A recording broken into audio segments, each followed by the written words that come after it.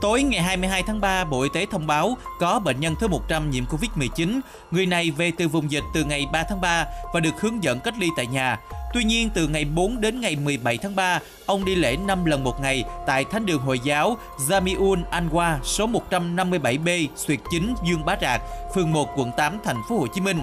Ngày 23 tháng 3, ông Nguyễn Nha Kha, chánh văn phòng Ủy ban nhân dân quận 8 cho biết, lúc bệnh nhân này về nước chưa có công bố dịch ở Malaysia và trước ngày 16 tháng 3 không có chỉ đạo nên quận không rà soát yêu cầu cách ly. Tuy nhiên, đại diện Ban đại diện Cộng đồng Hồi giáo thành phố Hồ Chí Minh cho biết, từ ngày 12 tháng 3, Ban Tôn giáo Chính phủ đã có công văn yêu cầu Ban đại diện rà soát danh sách những người tham dự lễ hội tôn giáo tại Malaysia.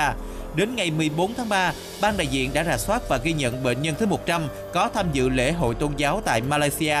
Nhưng đến ngày 19 tháng 3, ban đại diện mới gửi danh sách tổng hợp 34 trường hợp thành phố Hồ Chí Minh có tham gia lễ hội tôn giáo tại Malaysia cho ban tôn giáo chính phủ. Nhưng vì hầu hết người dân đi dự lễ hội tự túc bằng đường du lịch, không thông qua ban đại diện nên việc trà soát toàn bộ người đi gặp khó khăn.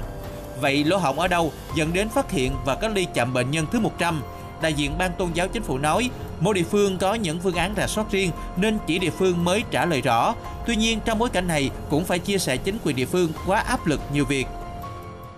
Trước nguy cơ từ nhóm người dự thánh lễ trở về, ngành y tế thành phố Hồ Chí Minh đã phát đi thông tin tìm kiếm và khuyến cáo những người từng dự thánh lễ ở nước bạn có liên quan đến ca bệnh thứ 61 cần phải chủ động liên hệ với cơ quan chức năng để thực hiện các biện pháp phòng dịch, chủ động cách ly, theo dõi sức khỏe, tránh nguy cơ phát tán dịch bệnh cho cộng đồng. Tuy nhiên, trường hợp bệnh nhân thứ 100 đã không tuân thủ các khuyến cáo đã được cơ quan chức năng đề nghị thực hiện hành vi trốn cách ly, gia tăng nguy cơ phát tán dịch bệnh, xem thường sức khỏe, sinh mạng của cộng đồng đang gây tâm lý bức xúc cho xã hội và các chuyên gia trong lĩnh vực y tế.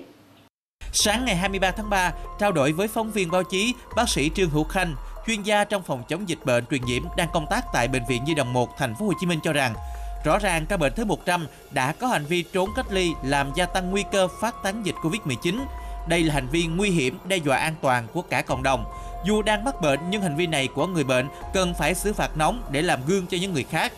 Cũng theo bác sĩ Khanh, ca bệnh thứ 17 cơ quan chức năng nói sẽ phạt, đến ca bệnh thứ 34 lại nói chờ xong phạt. Điều đó đã làm phát sinh ra ca bệnh thứ 100. Hồng Kông, Đài Loan thành công trong phòng chống dịch chính là do phạt nóng. Nếu chiếu theo luật phòng chống dịch bệnh truyền nhiễm, ca bệnh thứ 100 sẽ bị xử phạt hành chính ở mức từ 5 đến 10 triệu đồng, nghiêm trọng hơn có thể bị xử lý hình sự. Trước đề xuất của bác sĩ Hữu Khanh và tâm lý bức xúc của cộng đồng, Thạc sĩ bác sĩ Nguyễn Thị Huỳnh Mai, Chánh Văn phòng Sở Y tế Thành phố Hồ Chí Minh cho biết, hiện tại chúng tôi đang phải tập trung chủ lực vào việc tìm kiếm những trường hợp tiếp xúc với ca bệnh để thực hiện biện pháp cách ly, khoanh vùng, xử lý dịch. Hành vi của người bệnh nếu chiếu theo luật thì sẽ bị xử lý. Tuy nhiên, ở thời điểm hiện tại, cách tốt nhất là động viên người bệnh an tâm điều trị từ thông tin người bệnh cung cấp để tìm kiếm những người tiếp xúc gần. Việc xử phạt sẽ hạ hồi phân giải.